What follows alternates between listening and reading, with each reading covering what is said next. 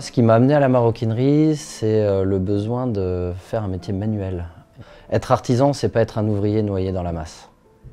Ce qui m'a amené au Greta, c'est d'abord un ami euh, qui lui maintenant est maroquinier que j'ai rencontré il y a quelques années et qui lui a fait cette formation il y a à peu près deux ans et qui m'en a parlé. Et je me suis dit il faut que j'aille euh, déposer mon dossier ici et si je suis pris, bah, tant mieux.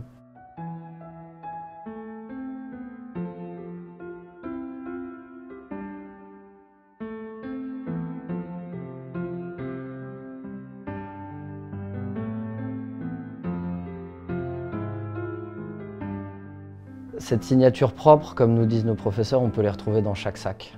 Chaque artisan a sa pâte, euh, qu'il ait une marque à poser ou non, il aura sa pâte. Alors après, ça sera dans, dans le milieu des maroquiniers, mais bon, des clients avertis peuvent retrouver des signatures de maroquiniers.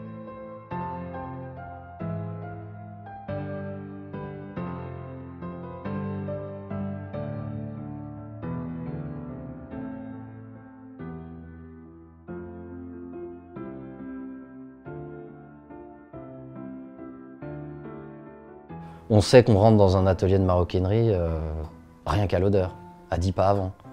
10 pas avant de franchir la porte, vous savez que vous allez euh, voir du cuir euh, à profusion.